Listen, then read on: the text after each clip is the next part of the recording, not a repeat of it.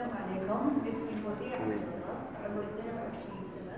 وأدرس إدارة الأعمال وأمثل مملكة البحرين بس حب أقول إني مرة سعيدة إني في مصر. وفنكم حقيقي اللجنة